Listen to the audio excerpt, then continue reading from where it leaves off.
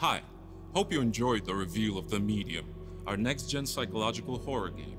We're very excited to announce that we're working on the project in cooperation with Akira Yamaoka, the legendary composer best known for the Silent Hill series. We'll have more to reveal soon, so stay tuned.